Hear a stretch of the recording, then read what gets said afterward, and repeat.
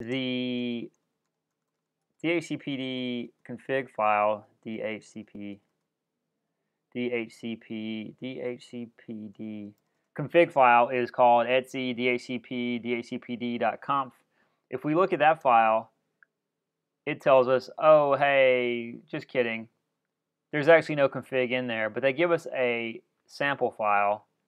So what we're going to do is we're going to copy this sample file, right, um, into this location. So I'm going to go ahead and cd over to etc dhcp uh, to make this a little easier. Uh, notice I'm operating as root in this terminal. These things need to be done as roots, so you might as well go ahead and become roots. And what we're going to do is we're going to copy the sample file to the current current directory and we're going to call it dhcpd.conf. So we're going to overwrite that file that's already there with this sample file. Yes, I want to overwrite it. We're going to edit this sample file. I'm going to use the VI editor because that's my editor of choice.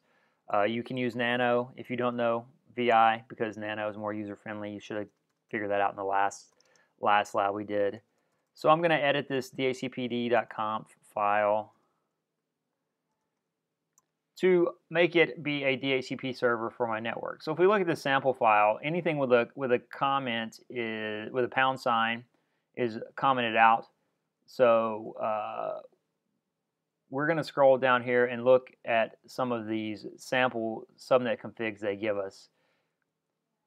Uh, here's one that says it helps the server understand topology. We're going to ignore that. Very basic. That's this this one is far too basic. These declarations start with the word subnet, include the requirements and the options, and then end with a, a curly bracket. Have a curly bracket up there uh, to map that. So we're gonna we're gonna find the config that is most complete and uh, modify it to meet our needs, and then delete the other one. So this is one we're going to use.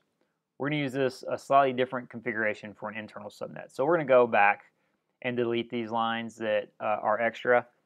I'm in VI, so I'm going to hit DD a bunch of times. Every time I hit DD, it deletes line. If, if you're using Nano, backspace over these lines to get rid of them. So I'm to get rid of these extra lines. Uh, and now I have the config I want to use. This is going to be for VLAN 3. So I need to modify it to match the configuration parameters for my VLAN 3. So the network 10.1.128, the net mask, that is a 26-bit uh, net mask. The range, this defines the range of addresses that we want to give out.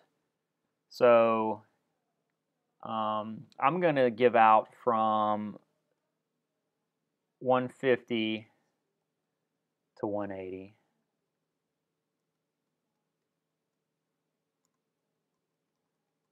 We put our server at 130, so we don't want to give out 130. Um, domain name servers, we are going to give out the domain name server 100, 100, 100, 2. The domain name, um,